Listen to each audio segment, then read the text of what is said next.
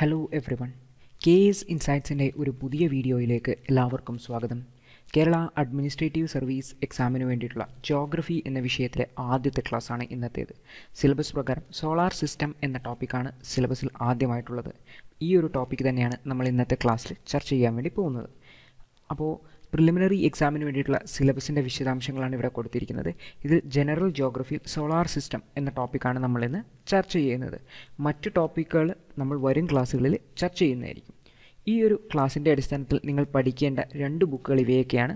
ആറാം class N C R ടിയിലെ the earth our habitat എന്നതിൽ ആദ്യത്തെ chapter the earth in the solar system പിന്നെ ഫിസിക്കൽ ജോഗ്രഫി അത് class plus one N C R T ആണ്. അതിൽ രണ്ടാമത്തെ chapter the origin and evolution of the earth കൂടാതെ ഈ ഒരു ജോഗ്രഫി മുഴുവനായിട്ട് പഠിക്കുന്നതിന് നിങ്ങൾ പ്രധാനമായിട്ടും ഈ രണ്ട് ബുക്കുകളെ മാത്രം ആശ്രയിച്ചാൽ മതിയാകും. കുറച്ച് കാര്യങ്ങൾ മാത്രം എസ് സി ആർ ടിയിൽ വരുന്നുണ്ട്. ആ ഒരു ഭാഗം വരുന്ന സമയത്ത് ഞാൻ S C R T mention ചെയ്യുന്നതായിരിക്കും. എങ്കിലും ആ ഒരു കാര്യങ്ങളെല്ലാം തന്നെ ഈ രണ്ട് പുസ്തകങ്ങളിലായിട്ട് കവർ ചെയ്തിട്ടുണ്ട്. അപ്പോൾ ഈ രണ്ട് ബുക്കുകൾ മാത്രം നിങ്ങൾ പഠിച്ചാൽ മതിയാകും ജോഗ്രഫിക്ക് ഏതെങ്കിലും ടോപ്പിക് ഈ ഒരു ബുക്കുകളിൽ പെടാത്തതുണ്ടെങ്കിൽ അത് മാത്രം നിങ്ങൾ മറ്റു ബുക്കുകളെ ആശ്രയിച്ചാൽ മതിയാകും. അപ്പം നമുക്ക് ഇന്നത്തെ ക്ലാസ്സിലേക്ക് പോകാം. അതിനു മുമ്പ് നിങ്ങൾ ആദ്യമായിട്ടാണ് ഈ ഒരു ചാനൽ സന്ദർശിക്കുന്നതെങ്കിൽ തീർച്ചയായും സബ്സ്ക്രൈബ് ചെയ്യുക. നിങ്ങളുടെ പഠനത്തെ സഹായിക്കുന്നതിന് വേണ്ടിയിട്ട് കെ എസിന്റെ ഈ ഒരു ചാനൽ കെ എസ് ഇൻസൈറ്റ്സ് തീർച്ചയായിട്ടും കൂടെ തന്നെയുണ്ടാവും അപ്പോൾ ഞങ്ങളുടെ എല്ലാ വീഡിയോസും ലഭിക്കുന്നതിന് വേണ്ടിയിട്ട് ഞങ്ങളുടെ ചാനൽ പേജ് സന്ദർശിക്കാവുന്നതാണ്. അപ്പോൾ നമുക്ക് ഇന്നത്തെ ക്ലാസ്സിലേക്ക് കിടക്കാം. ഓരോ ദിവസം വൈകുന്നേരവും നമ്മൾ ആകാശത്തേക്ക് നോക്കിക്കഴിഞ്ഞാൽ നാം കാണുന്ന സ്കൈ ആണിത്. അപ്പോൾ ഈ ഒരു സ്കൈയിൽ നമുക്ക് നക്ഷത്രങ്ങളെ കാണാൻ വേണ്ടി പറ്റും ചന്ദ്രനെ കാണാൻ വേണ്ടി പറ്റും മറ്റ് ഗ്രഹങ്ങളെയും മറ്റും കാണാൻ വേണ്ടി പറ്റും. അപ്പോൾ എന്താണ് ഈ ഒരു ആകാശം നമ്മളോട് പറയുന്നത്?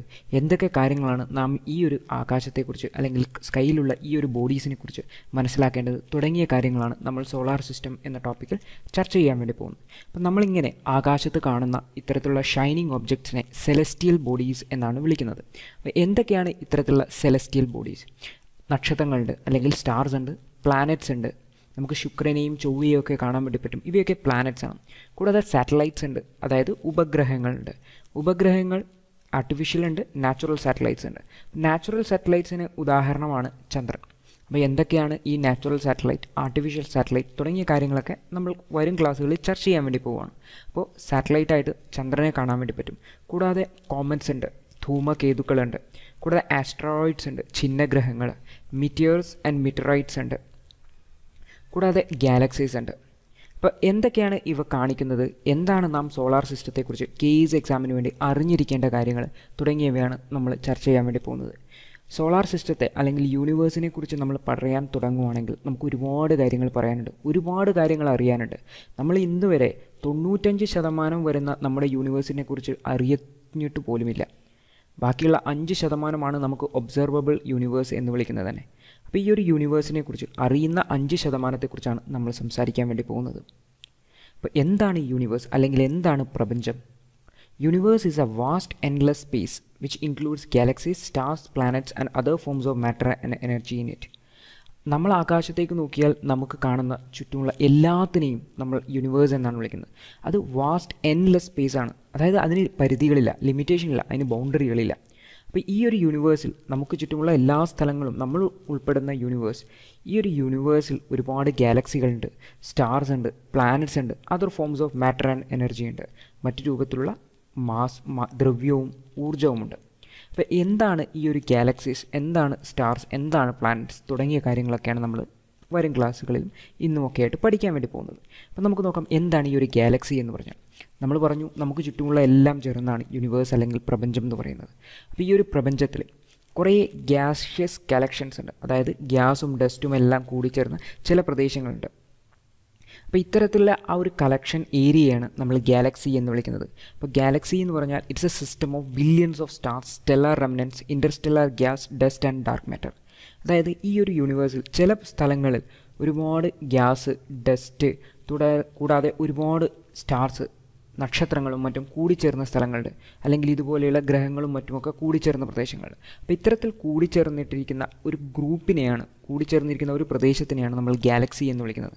Galaxy is a system of billions of stars stellar remnants interstellar gas dust and dark matter അപ്പോൾ ഈ വലതു ഭാഗത്ത് കാണിച്ചിരിക്കുന്നത് ഒരു ഗാലക്സിയുടെ ചിത്രമാണ്. അത് മിൽക്കി വേ ഗാലക്സിയാണ് എന്താണ് മിൽക്കി വേ ഗാലക്സി അതിന്റെ പ്രത്യേകത എന്ന് നമ്മൾ പഠിക്കാൻ വേണ്ടി പോവാണ്. അപ്പോൾ ഈ വലതു ഭാഗത്ത് കാണിക്കുന്നത് ഒരു ഗാലക്സിയുടെ ചിത്രമാണ്. അപ്പോൾ ആ ഗാലക്സി നോക്കിക്കഴിഞ്ഞാൽ അതിന്റെ നടുഭാഗത്ത് നമുക്കൊരു യെല്ലോയിഷ് കളറിൽ ഒരു കോറ് കാണാൻ വേണ്ടി പറ്റും. അതാണ് അതിന്റെ സെന്റർ അതിന് ചുറ്റും നമ്മൾ നിലച്ചക്രം കത്തിച്ചതുപോലെയുള്ള ഒരു രൂപമാണ് കാണാൻ വേണ്ടി പറ്റുന്നത്. ഇതിനെ നമ്മൾ സ്പൈറൽ ഗാലക്സി എന്നാണ് വിളിക്കുന്നത് അതായത് സ്പൈറൽ ഷേപ്പിലാണുള്ളത് വരുന്നത്. അപ്പോൾ ഈ ഒരു സ്പൈറൽ ഗാലക്സിയുടെ ചുറ്റുമുള്ള ആ ഒരു പ്രദേശങ്ങൾ മുഴുവൻ ഗ്യാസും ഡസ്റ്റും മറ്റ് ഗ്രഹങ്ങളും നക്ഷത്രങ്ങളും ഒക്കെ നിറഞ്ഞിരിക്കുകയാണ്. അപ്പോൾ ഇത്തരത്തിൽ ഗ്രഹങ്ങളും നക്ഷത്രങ്ങളും മറ്റ് ഇൻഡസ്ട്രിയലർ ബോഡീസും എല്ലാം ചേർന്നിരിക്കുന്ന ഒരു പ്രദേശത്തിനെയാണ് ഒരു കളക്ഷൻ ഓഫ് സ്പേസിനെയാണ് നമ്മൾ ഗാലക്സി എന്ന് വിളിക്കുന്നത്. ഇങ്ങനെ ഒരുപാട് ഗാലക്സികൾ നിറഞ്ഞിട്ടുള്ളതാണ് നമ്മുടെ യൂണിവേഴ്സ് അപ്പം നമുക്ക് യൂണിവേഴ്സ് ഉണ്ട് യൂണിവേഴ്സിൽ ഒരുപാട് ഗാലക്സികളുണ്ട് അപ്പോൾ ഈ ഒരു ഗാലക്സിയിൽ നമ്മൾ ഏത് ഗാലക്സിയിലാണ് എന്നുള്ളതാണ് നമുക്ക് ഏറ്റവും പ്രധാനപ്പെട്ടത്. അപ്പോൾ നമ്മൾ ജീവിക്കുന്നത് ഭൂമിയിലാണ് എർത്തിലാണ് അപ്പോൾ ഈ എർത്ത് ഉൾപ്പെട്ടിരിക്കുന്ന ഗാലക്സിയുടെ പേരാണ് മിൽക്കി വേ. ആ ഒരു മിൽക്കി വേ ഗാലക്സിയുടെ ചിത്രമാണ് ഈ ഒരു വലതുഭാഗത്ത് കാണിച്ചിരിക്കുന്നത്. അപ്പോൾ നമ്മൾ ജീവിക്കുന്നത് സൂര്യ നമ്മുടെ നക്ഷത്രം എന്ന് പറയുന്നത് സൂര്യനാണ്. സൂര്യനെ ചുറ്റുന്ന എട്ട് ഗ്രഹങ്ങളിൽ ഒന്നാണ് ഭൂമി. ഈ ഒരു ഭൂമിയിലാണ് നമ്മൾ ജീവിക്കുന്നത്. അപ്പോൾ ഈ ഒരു സോളാർ സിസ്റ്റം ഉൾപ്പെട്ടിരിക്കുന്നത് മിൽക്കി വേ ഗാലക്സിയിലാണ്. ഈ ഒരു മിൽക്കി വേ ഗാലക്സി സ്പൈറൽ ഗാലക്സിയാണ്. എന്താണ് ഈ ഒരു സ്പൈറൽ ഗാലക്സി എന്ന് പറഞ്ഞാൽ അതിന്റെ ഷേപ്പാണ്. നിലച്ചക്രം തിരിയുന്നത് പോലെയുള്ള ഒരു ഷേപ്പാണിത്. അപ്പോൾ ഇതിനെയാണ് നമ്മൾ സ്പൈറൽ ഷേപ്പ് എന്ന് വിളിക്കുന്നത്. ഇതുപോലെ മറ്റ് ഗാലക്സികളുണ്ട്. അപ്പോൾ മറ്റ് ഷേപ്പിലുള്ള ഗാലക്സികളുണ്ട് നമ്മുടെ കെ എസ് എക്സാമിന് വേണ്ടിയിട്ട് നമ്മൾ അത്ര ഡീറ്റെയിൽ ആയിട്ട് പോകേണ്ട ആവശ്യമില്ല. നമ്മൾ ഓർത്ത് വയ്ക്കേണ്ടത് നമ്മളുടെ ഗാലക്സി മിൽക്കി വേ ആണ്.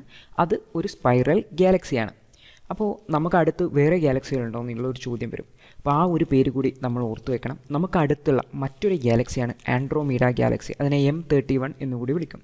അതായത് നമ്മുടെ ഗാലക്സിയായ മിൽക്കി വേയുടെ അടുത്തുള്ളൊരു ഗാലക്സിയാണ് Andromeda galaxy M thirty one എന്നുകൂടി വിളിക്കും. അതാണ് അതും ഒരു സ്പൈറൽ ഗാലക്സി തന്നെയാണ്. അപ്പോൾ ഗാലക്സിയിൽ നമ്മൾ രണ്ട് പേർ ഓർത്ത് വെക്കണം. നമ്മുടെ ഗാലക്സി മിൽക്കി വേ അടുത്തത് ആൻഡ്രോമീഡ ഗാലക്സി നമ്മുടെ തൊട്ടടുത്തുള്ള ഗാലക്സി നമ്മുടെ അയൽക്കാരനായ ഗാലക്സിയാണ് അപ്പോൾ നമ്മൾ യൂണിവേഴ്സിനെ കുറിച്ച് മനസ്സിലാക്കി. യൂണിവേഴ്സിൽ ഒരുപാട് ഗാലക്സികൾ ഉണ്ടെന്ന് പറഞ്ഞു അതിലൊരു ഗാലക്സിയാണ് മിൽക്കി വേ അതിലാണ് നമ്മളുള്ളത്. അപ്പോൾ മിൽക്കി വേയിൽ തന്നെ നമ്മുടെ സോളാർ സിസ്റ്റം സോളാർ സിസ്റ്റം എന്ന് പറഞ്ഞാൽ സൂര്യനും സൂര്യന് ചുറ്റുമുള്ള ഗ്രഹങ്ങളും അതിന്റെ ഉപഗ്രഹങ്ങളും ഒക്കെ ഉൾപ്പെടുന്ന ഒരു ഭാഗമാണ്. അതിനെക്കുറിച്ചാണ് നമ്മൾ പറഞ്ഞു വരുന്നത്. ഇതുപോലെ ഒരുപാട് സിസ്റ്റങ്ങളുണ്ട്. ഒരുപാട് നക്ഷത്രങ്ങളുണ്ട്. അതിന് ചുറ്റേ ഒരുപാട് ഗ്രഹങ്ങളുമുണ്ട്. അപ്പോൾ ഈ ഒരു മിൽക്കി വേ എന്ന് പറയുന്ന ഗാലക്സിയിൽ നമ്മുടെ സ്ഥാനമാണ് വി ആർ ഹിയർ എന്ന് പറഞ്ഞിട്ട് ഇവിടെ മാർക്ക് ചെയ്ത് കാണിക്കുന്നത്. അതായത് വലിയൊരു ഗാലക്സിയിൽ വളരെ ചെറിയൊരു പ്രദേശത്താണ് നമ്മളുള്ളത്. അപ്പോൾ നമുക്ക് സോളാർ സിസ്റ്റത്തിലേക്ക് കടക്കാം. അപ്പോൾ ഇതാണ് സോളാർ സിസ്റ്റം.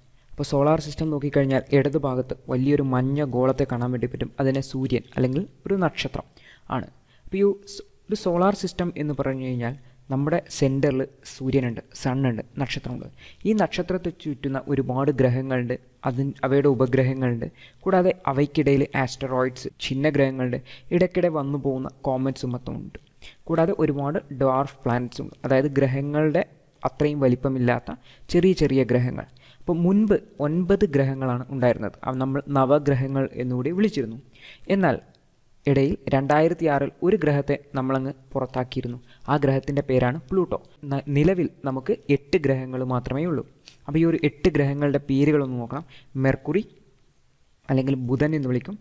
രണ്ടാമത്തത് ശുക്രൻ പിന്നെയുള്ളത് ശുക്രനെ വീനസ് എന്ന് വിളിക്കും. പിന്നെയുള്ളത് ഭൂമി എർത്ത്. പിന്നെയുള്ളത് മാർസ് ചൊവ്വ. പിന്നെയുള്ളത് ജൂപ്പിറ്റർ വ്യാഴം സാറ്റേൺ അല്ലെങ്കിൽ ശനി പിന്നെ യുറാനസ് പിന്നെ നെപ്റ്റ്യൂൺ. അപ്പോൾ ഈ ഒരു എട്ട് ഗ്രഹങ്ങളുടെ പേര് ഒന്ന് വേർത്ത് വെക്കണം. ആദ്യമുള്ളത് ബുധൻ. സൂര്യന്റെ ഏറ്റവും അടുത്തുള്ളതാണ് ബുധൻ. പിന്നെയുള്ളതാണ് ശുക്രൻ വീനസ്. അടുത്തത് ഭൂമി എർത്ത്. അപ്പോൾ മൂന്നാമത്തെ ഗ്രഹമാണ് നമ്മൾ നമ്മുടെ തൊട്ടടുത്താണ് മാർസ് ഉള്ളത് അല്ലെങ്കിൽ ചൊവ്വ ഉള്ളത് നമ്മുടെ തൊട്ടടുത്ത്. അപ്പോൾ ഭൂമിയുടെ അപരൻ എന്ന് വിളിക്കുന്നത് മാർസിനെയാണ്. എന്തുകൊണ്ടാണ് എന്നൊക്കെ നമ്മൾ വരും ക്ലാസ്സുകളിൽ പഠിക്കും.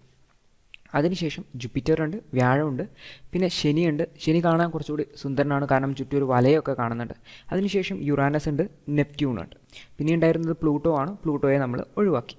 അപ്പോൾ സൂര്യനും എട്ട് ഗ്രഹങ്ങളും അവയ്ക്കിടയിലുള്ള ആസ്ട്രോയിഡ്സും കോമറ്റ്സും ഡ്വാർഫ് പ്ലാനറ്റ്സും എല്ലാം കൂടി ചേർന്നതിനെയാണ് നമ്മൾ സോളാർ സിസ്റ്റം എന്ന് വിളിക്കുന്നത്. ഈ ഒരു സോളാർ സിസ്റ്റമാണ് നമ്മുടെ സിലബസിൽ പറഞ്ഞിട്ടുള്ളത്. അതിനെക്കുറിച്ച് നമ്മൾ കുറച്ച് വിശദമായിട്ട് പഠിക്കാൻ വേണ്ടി പോവുകയാണ്.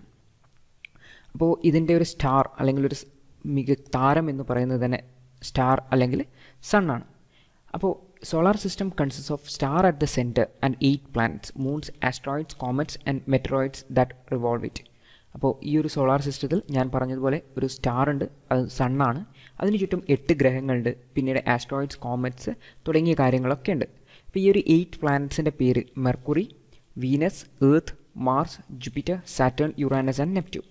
ഈ ഒരു പ്ലാനറ്റ്സ് സണ്ണിന് ചുറ്റും ഒരു പാത്തിൽ റിവോൾവ് ചെയ്തുകൊണ്ടിരിക്കുന്നുണ്ട് അതായത് ചുറ്റിക്കൊണ്ടിരിക്കുന്നുണ്ട് ഈ ഒരു പാത്ത് എന്ന് പറഞ്ഞാൽ സർക്കുലർ പാത്തല്ല അതായത് ഒരു വൃത്താകൃതിയിലുള്ള പാത്തല്ല മറിച്ച് ഇതൊരു എലിപ്റ്റിക്കൽ പാത്താണ് അല്ലെങ്കിൽ ദീർഘവൃത്താകൃതി എന്നാണ് പറയുക. അപ്പോൾ ഈ ഒരു ഫിക്സഡ് എലിപ്റ്റിക്കൽ പാത്തിലൂടെയാണ് സണ്ണിന് ചുറ്റും അല്ലെങ്കിൽ സ്റ്റാറിന് ചുറ്റും നമ്മുടെ പ്ലാനറ്റ്സ് റിവോൾവ് ചെയ്യുന്നത്. ഈ ഒരു പാത്തിനെയാണ് നമ്മൾ ഓർബിറ്റ് എന്ന് വിളിക്കുന്നത്. അപ്പോൾ ഈ പേരുകളൊന്ന് ഓർമ്മിച്ച് വെക്കണം. എയ്റ്റ് പ്ലാനറ്റ്സ് ഉണ്ട്. Mercury Venus Earth Mars Jupiter Saturn Uranus and Neptune കൂടാതെ ഇവ ചുറ്റും കറങ്ങുന്നതിനെ ഓർബിറ്റ് എന്നാണ് വിളിക്കുക. ആ ഓർബിറ്റിന്റെ ഷേപ്പ് എന്ന് പറഞ്ഞാൽ ഫിക്സഡ് എലിപ്റ്റിക്കൽ പാർട്സ് ആണ്. അതായത് ഫിക്സഡ് എലിപ്റ്റിക്കൽ പാർട്സ് ദീർഘ വൃത്താകൃതിയിലുള്ള വഴിയാണ്. അപ്പോൾ നമുക്ക് ഇനി സോളാർ സിസ്റ്റത്തെക്കുറിച്ച് പഠിക്കാം. അപ്പോൾ ഈ ഒരു സോളാർ സിസ്റ്റത്തിൽ നമ്മൾ ആദ്യം തന്നെ ചർച്ച ചെയ്യേണ്ടത് സണ്ണിനെയാണ് അതാണ് സോളാർ സിസ്റ്റത്തിന്റെ താരം അല്ലെങ്കിൽ സ്റ്റാർ എന്ന് വിളിക്കുന്നത്. അപ്പോൾ ഈ ഒരു സണ്ണിന്റെ ഒരു ചിത്രമാണ് ഈ വലതുഭാഗത്ത് കാണിച്ചിരിക്കുന്നത്. അപ്പോൾ എന്താണ് ഈ ഒരു സൺ അതിനെ എന്താണ് ഈ ഒരു പ്ലാനറ്റ്സിൽ നിന്നും വ്യത്യസ്തമാക്കുന്നത് എന്നൊന്ന് നമുക്ക് നോക്കാം. Star is a celestial body which has its own light and heat they are made up of gases അതായത് സൺ എന്ന് പറഞ്ഞാൽ അല്ലെങ്കിൽ സ്റ്റാർ എന്ന് പറഞ്ഞു കഴിഞ്ഞാൽ അതൊരു സെലസ്റ്റിയൽ ബോഡിയാണ് നമ്മൾ കാണുന്ന ഒരു ബോഡിയാണ് ഈ ഒരു സെലസ്റ്റിയൽ ബോഡിക്ക് അതിന് ഇറ്റ്സ് ഓൺ ഹീറ്റും ലൈറ്റും ഉണ്ട്. അതിന് സ്വന്തമായിട്ട് ചൂട് ഹീറ്റ് ഉണ്ടാക്കാൻ വേണ്ടി പറ്റും. കൂടാതെ അതിന് പ്രകാശം പുറപ്പെടുവിക്കാനും പറ്റും. അപ്പോൾ സ്റ്റാർ എന്നുള്ളതിന്റെ ഒരു simple ഡെഫിനേഷനാണ് a body which has its own light and heat they are made up of gases അപ്പോൾ ഇത് ഗ്യാസ് കൊണ്ടാണ് ഉണ്ടാക്കിയിരിക്കുന്നത്. അപ്പോൾ ഇതിൽ ഗ്യാസസ് ആണ്. അതായത് ഹൈഡ്രജനും ഹീലിയം തുടങ്ങിയ ഗ്യാസുകളാണ് സൂര്യൻ അല്ലെങ്കിൽ സണ്ണിലുള്ളത്. അപ്പോൾ star is a celestial body which has its own light and heat സ്വന്തമായിട്ട് ഹീറ്റും ലൈറ്റും ഉള്ള സെലസ്റ്റിയൽ ബോഡീസിനെയാണ് നമ്മൾ സ്റ്റാർസ് എന്ന് വിളിക്കുന്നത്. അവർ പ്രധാനമായിട്ടും ഗ്യാസസ് ആണ്. അപ്പം നമ്മുടെ ഭൂമിയോട് ഏറ്റവും അടുത്തുള്ള സ്റ്റാർ എന്ന് പറഞ്ഞാൽ സണ്ണാണ് അപ്പോൾ ഈ ഒരു സണ്ണിനെയാണ് നമ്മുടെ ഭൂമി ചുറ്റിക്കൊണ്ടിരിക്കുന്നത്. അപ്പം നമ്മൾ സണ്ണാണ് നമ്മുടെ ഏറ്റവും അടുത്തുള്ള സ്റ്റാർ എന്ന് വിളിച്ചു. അങ്ങനെയാണെങ്കിൽ നമുക്ക് കാണാൻ വേണ്ടി പറ്റുന്ന ഏറ്റവും തിളക്കമുള്ള സ്റ്റാർ ഏതാണെന്ന് നോക്കാം. അതും സൺ തന്നെയാണ്. അപ്പോൾ സണ്ണ് കഴിഞ്ഞ് കഴിഞ്ഞാൽ നമുക്ക് രാത്രിയിൽ കാണാൻ പറ്റുന്ന ഏറ്റവും ബ്രൈറ്റസ്റ്റ് ആയ സ്റ്റാറിന്റെ പേരാണ് സിറിയസ് എ അതിനെ ഡോഗ് സ്റ്റാർ എന്ന് വിളിക്കും. അപ്പോൾ സിറിയസ് എ അല്ലെങ്കിൽ ഡോഗ് സ്റ്റാർ എന്ന പേരൊന്ന് ഓർത്ത് വെക്കണം. It is the brightest star visible in the earth's night sky അതായത് രാത്രിയിൽ നമുക്ക് കാണാൻ പറ്റുന്നതിൽ ഏറ്റവും ബ്രൈറ്റായ സ്റ്റാറാണ് സിറിയസ് എ അല്ലെങ്കിൽ ഡോഗ് സ്റ്റാർ എന്നത്. അപ്പോൾ സൂര്യനാണ് നമ്മുടെ ഏറ്റവും അടുത്തുള്ള സ്റ്റാർ എന്ന് പറഞ്ഞു. അപ്പോൾ സൂര്യൻ കഴിഞ്ഞ തൊട്ടടുത്തുള്ള സ്റ്റാർ ഏതാണ്? അപ്പോൾ Proxima Centauri is the closest star to the sun അപ്പോൾ സൂര്യന്റെ അയൽക്കാരനായ സ്റ്റാർ എന്ന് പറയുന്നത് പ്രോക്സിമ സെന്റോറിയാണ് അപ്പോൾ പ്രോക്സിമ എന്ന് പറഞ്ഞാൽ പ്രോക്സിമ എന്ന് പറഞ്ഞാൽ തന്നെ അടുത്ത് എന്നുള്ള ഒരർത്ഥമാണ്. അപ്പോൾ Proxima സെന്റോറിയാണ് closest star to the sun അപ്പോൾ രണ്ട് പേരുകൾ ഇവിടെ ഓർത്ത് വെക്കണം. സിറിയസ് എ അതാണ് ബ്രൈറ്റസ്റ്റ് സ്റ്റാർ നമുക്ക് രാത്രി കാണാൻ വേണ്ടി പറ്റുന്നത്. പിന്നെയുള്ളത് Proxima സെന്റോറിയാണ് it is the closest star to the sun സൂര്യനോട് ഏറ്റവും അടുത്തുള്ള ഒരു സ്റ്റാറാണ് പിന്നെയുള്ളൊരു വാക്കാണ് കോൺസ്റ്റലേഷൻ അപ്പോൾ കോൺസ്റ്റലേഷൻ എന്ന് പറഞ്ഞു കഴിഞ്ഞാൽ it's a group of stars that forms a particular shape അതായത് നമ്മുടെ ആൾക്കാർ പണ്ട് കാലങ്ങളിൽ രാത്രിയിൽ ഇങ്ങനെ നക്ഷത്രങ്ങളെയൊക്കെ കാണാൻ വേണ്ടി പറ്റുമായിരുന്നു. അപ്പോൾ ആൾക്കാർ ഇങ്ങനെ വെറുതെ ഇരുന്ന് മുകളിലേക്ക് നോക്കിയിരുന്ന് ഈ നക്ഷത്രങ്ങളെയൊക്കെ നോക്കിയിരിക്കുന്ന സമയത്ത് ഇത്തരം നക്ഷത്രങ്ങളെയൊക്കെ ചേർത്ത് വെച്ചിട്ട് അവർ ഓരോ രൂപങ്ങളുണ്ടാക്കി അപ്പോൾ ഇത്തരത്തിലുള്ള രൂപങ്ങളിൽ നിന്നാണ് അവരതിനെ കോൺസ്റ്റലേഷൻ എന്നാണ് വിളിക്കുക. അപ്പോൾ ഈ ഒരു വലതുഭാഗത്ത് കാണിക്കുന്ന ചിത്രത്തിൽ കുറേ നക്ഷത്രങ്ങളെ കൂട്ടിച്ചേർത്തിട്ട് അവരൊരു രൂപമൊക്കെ ഉണ്ടാക്കിയിട്ടുണ്ട്. അപ്പോൾ അതിലുള്ള രൂപങ്ങളാണ് സപ്തർഷി ഉസ മേജർ വേട്ടക്കാരൻ തുടങ്ങിയ രൂപങ്ങളൊക്കെ. അപ്പോൾ ഇങ്ങനെയുള്ള ഓരോ രൂപങ്ങളെ കോൺസ്റ്റലേഷൻ എന്നാണ് വിളിക്കുന്നത്.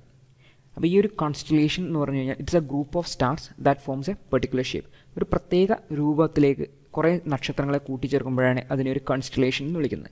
അപ്പോൾ ആയിരത്തി തൊള്ളായിരത്തി ഇരുപത്തൊമ്പതിൽ ഇന്റർനാഷണൽ ആസ്ട്രോണമിക്കൽ യൂണിയൻ അതായത് ഈ ഒരു യൂണിവേഴ്സിനെ കുറിച്ചും അല്ലെങ്കിൽ സോളാർ സിസ്റ്റത്തിനെ കുറിച്ചുമൊക്കെയുള്ള ശാസ്ത്രജ്ഞരുടെയും മറ്റുമൊക്കെ ഒരു അംഗീകരിച്ച സംഘടനയാണ് ഇന്റർനാഷണൽ ആസ്ട്രോണമിക്കൽ യൂണിയൻ അപ്പോൾ ഇതിലുള്ള ശാസ്ത്രജ്ഞന്മാരൊക്കെ കൂടി ചേർന്നിട്ടാണ് ഈ പുതിയ കണ്ടെത്തലുകൾ അംഗീകരിക്കുന്നതും പുതിയ പുതിയ തീരുമാനങ്ങൾ പുറപ്പെടുവിക്കുന്നതും. അപ്പോൾ ആയിരത്തി തൊള്ളായിരത്തി ഇരുപത്തൊമ്പതിൽ ചേർന്ന ഇന്റർനാഷണൽ ആസ്ട്രോണമിക്കൽ യൂണിയന്റെ ഐ എ യു എന്നാണ് വിളിക്കുന്നത് ഇന്റർനാഷണൽ ആസ്ട്രോണമിക്കൽ യൂണിയൻ എൺപത്തി എട്ട് ഒഫീഷ്യൽ കൺസ്റ്റലേഷനെ അംഗീകരിച്ചിട്ടുണ്ട്. അപ്പോൾ അതായത് എൺപത്തിയെട്ട് ഒഫീഷ്യൽ കൺസ്റ്റലേഷനാണ് ആയിരത്തി തൊള്ളായിരത്തി ഇരുപത്തൊമ്പതിൽ അംഗീകരിച്ചിട്ടുള്ളത്. അപ്പോൾ ഈ ഒരു കൺസ്റ്റലേഷൻ എന്ന് പറഞ്ഞാൽ it's a group of stars ആണ്. അതൊരു പ്രത്യേക ഷേപ്പിൽ ഫോം ചെയ്യുന്നു എന്ന് മാത്രമേ ഉള്ളൂ. അപ്പോൾ നമ്മളതിനെ കണക്ട് ചെയ്തിട്ടാണ് ഉണ്ടാക്കുന്നത് അതിൽ പ്രധാനപ്പെട്ട ഒന്നാണ് ഉസ മേജർ. പിന്നെയുള്ളതാണ് സപ്തർഷി. അപ്പോൾ നമുക്ക് ഈ ഒരു സ്ലൈഡിൽ നിന്നും എന്താണ് സ്റ്റാർ എന്ന് മനസ്സിലാക്കി. അതായത് അതിന് സ്വന്തമായിട്ട് ലൈറ്റും ഹീറ്റും ഉണ്ട്.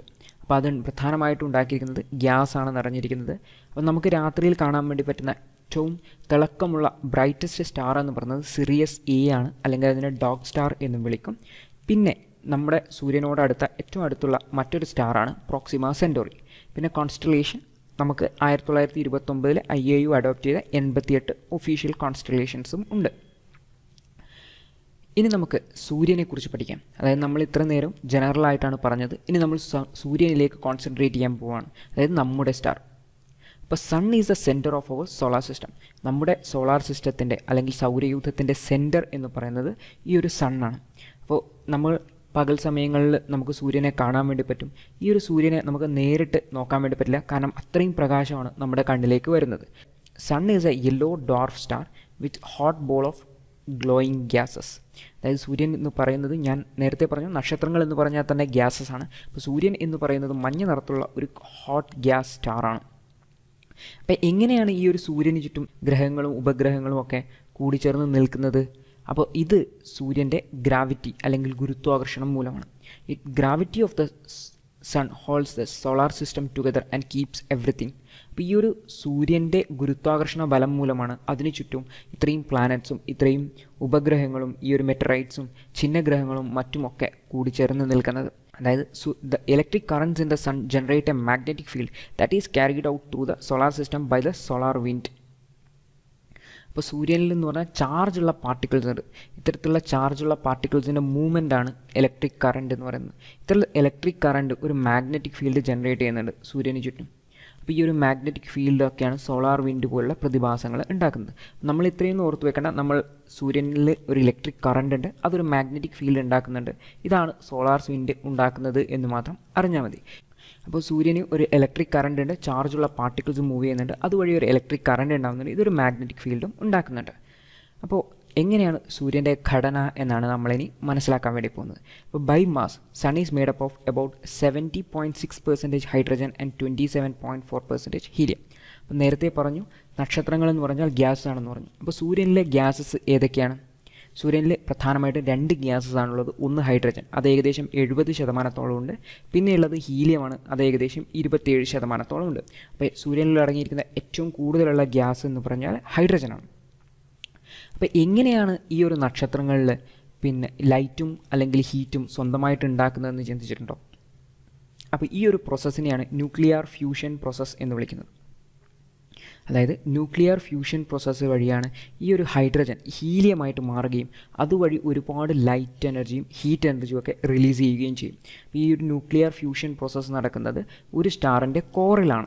ഇത് സംബന്ധിച്ച കാര്യങ്ങളൊക്കെ നമ്മൾ സണ്ണിന്റെ ഘടനയിൽ ഡിസ്കസ് ചെയ്യുന്നതാണ്. അപ്പോൾ ഇപ്പോൾ മനസ്സിലാക്കേണ്ട കാര്യങ്ങൾ ഇതൊക്കെയാണ്. സൺ എന്ന് പറഞ്ഞാൽ നമ്മുടെ സോളാർ സിസ്റ്റത്തിന്റെ സെന്ററിലുള്ള സ്റ്റാറാണ് സണ്ണിന്റെ ഗ്രാവിറ്റിയാണ് എല്ലാ പ്ലാനറ്റ്സിനെയും എല്ലാം ഈ ഒരു സോളാർ സിസ്റ്റത്തിൽ ഹോൾഡ് ചെയ്ത് വെക്കുന്നത്. കൂടാതെ സണ്ണിനൊരു ഇലക്ട്രിക് കറണ്ട് ഉണ്ട്. അതുവഴി ഒരു മാഗ്നറ്റിക് ഫീൽഡും ഉണ്ട്. ബൈ മാസ് സണ്ണിന്റെ ഏറ്റവും കൂടുതലുള്ളത് ഹൈഡ്രജനാണ് അത് ഏകദേശം എഴുപത് ശതമാനത്തോളം വരും. ഹീലിയമാണ് പിന്നെയുള്ളത് അത് ഏകദേശം ഇരുപത്തേഴ് ശതമാനത്തോളം വരും. അപ്പോൾ സൺ എങ്ങനെയാണ് സ്വന്തമായിട്ട് ഹീറ്റും ലൈറ്റും ഉണ്ടാക്കുന്നതെന്ന് ചോദിച്ചു കഴിഞ്ഞാൽ അതൊരു ന്യൂക്ലിയർ ഫ്യൂഷൻ എന്ന് പറയുന്ന ഒരു പ്രോസസ്സാണ് ന്യൂക്ലിയർ ഫ്യൂഷൻ ഫ്യൂഷൻ എന്ന് പറഞ്ഞാൽ ഒന്നിച്ചു ചേരുക എന്നാണ്. അതായത് ഹൈഡ്രജൻ ആറ്റംസ് ഒന്നിച്ചു ചേർന്നിട്ട് ഹീലിയമായി മാറുകയും അതുവഴി ഒരുപാട് എനർജി പുറത്തേക്ക് വിടുകയും ചെയ്യും. ഈ ഒരു പ്രോസസ്സിനെയാണ് ന്യൂക്ലിയർ ഫ്യൂഷൻ പ്രോസസ്സ് എന്ന് വിളിക്കുന്നത്. ആറ്റം ബോംബുകളിലൊക്കെ നടക്കുന്നത് ന്യൂക്ലിയർ ഫിഷൻ പ്രോസസ്സാണ് അതായത് ഒരു വലിയ ആറ്റം സ്പ്ലിറ്റ് ചെയ്തിട്ട് രണ്ട് ആറ്റങ്ങളായി മാറും. അതുവഴി എനർജി റിലീസ് ചെയ്യും. എന്നാൽ നക്ഷത്രങ്ങളിൽ നടക്കുന്നത് ന്യൂക്ലിയർ ഫ്യൂഷനാണ് ഒന്നിച്ചു ചേരാം. ഫ്യൂസ് ചെയ്യുക. ഒന്നിച്ചു ചേരുകയാണ്. ഈ ഒരു ഫ്യൂഷൻ പ്രോസസ്സിൽ വലിയ എനർജി റിലീസ് ചെയ്യും. ഈ ഒരു ന്യൂക്ലിയർ ഫ്യൂഷൻ പ്രോസസ്സിന്റെ അടിസ്ഥാനത്തിൽ വർക്ക് ചെയ്യുന്ന ബോംബുകളുണ്ട്. അതിനെ ഹൈഡ്രജൻ ബോംബ് എന്നാണ് വിളിക്കുക. അതൊന്നും ആവശ്യമില്ല. ഞാൻ ജസ്റ്റ് പറഞ്ഞു തന്നേ ഉള്ളൂ ന്യൂക്ലിയർ ഫ്യൂഷൻ പ്രോസസ്സുണ്ട് അതിൽ ഹൈഡ്രജൻ ഹീലിയമായിട്ട് മാറും. ഇനി നമ്മൾ സണ്ണിന്റെ ഘടനയെക്കുറിച്ചാണ് പഠിക്കാൻ പോകുന്നത്. Sun structure. അപ്പോൾ സണ്ണിന്റെ പ്രധാനമായിട്ടും ആറ് ഭാഗങ്ങളാണുള്ളത്. ഈ ഒരു ആറ് ഭാഗങ്ങളെ നമുക്ക് രണ്ടായിട്ട് തിരിക്കാൻ വേണ്ടി പറ്റും. ഒന്ന് ഇന്റേർണൽ ഒന്ന് രണ്ടാമത്തത് എക്സ്റ്റേണൽ അല്ലെങ്കിൽ എക്സ്റ്റീരിയർ അപ്പോൾ there are three main layers in the sun's interior സണ്ണിന്റെ interior ഭാഗത്ത് അകം ഭാഗത്ത് മൂന്ന് ലെയേഴ്സാണുള്ളത് ഈ ഒരു മൂന്ന് ലെയേഴ്സാണ് നടുവിൽ സെന്റർ ഭാഗത്തുള്ളത് കോർ രണ്ടാമത്തേത് റേഡിയേറ്റീവ് സോൺ മൂന്നാമത്തേത് കൺവെക്റ്റീവ് സോൺ അപ്പോൾ സൺ അല്ലെങ്കിൽ സണ്ണിനെ എടുത്തു കഴിഞ്ഞാൽ സണ്ണിന്റെ നമ്മളൊരു കട്ട് ചെയ്ത് ആ ഒരു പോർഷനാണ് ഇവിടെ കാണിച്ചിരിക്കുന്നത്. അപ്പോൾ അതിന്റെ ഏറ്റവും സെന്റർ പോർഷനാണ് കോർ എന്ന് വിളിക്കുന്നത്. കേന്ദ്രഭാഗം. അതിന് ചുറ്റുമുള്ള ഭാഗമാണ് റേഡിയേറ്റീവ് സോൺ അതിന് ചുറ്റുമുള്ള ഭാഗമാണ് കൺവെക്റ്റീവ് സോൺ അപ്പോൾ എന്താണ് ഈ ഒരു കോർ എന്ന് നോക്കാം. കോർ എന്ന് പറഞ്ഞാൽ ഏറ്റവും സെന്ററിലുള്ള ഭാഗത്തിനാണ് നമ്മൾ കോർ എന്ന് വിളിക്കുന്നത്. ഇതാണ് സൂര്യനിലെ ഏറ്റവും ചൂട് കൂടിയ ടെമ്പറേച്ചർ കൂടിയ ഭാഗം. അപ്പോൾ ഈ ഒരു ടെമ്പറേച്ചർ കൂടിയ ഭാഗത്തെ ടെമ്പറേച്ചർ എന്ന് പറയുന്നത് ഏകദേശം പതിനഞ്ച് മില്യൺ ഡിഗ്രി സെൽഷ്യസ് ആണ്. ഒരു മില്യൺ എന്ന് പറഞ്ഞാൽ പത്ത് ലക്ഷം.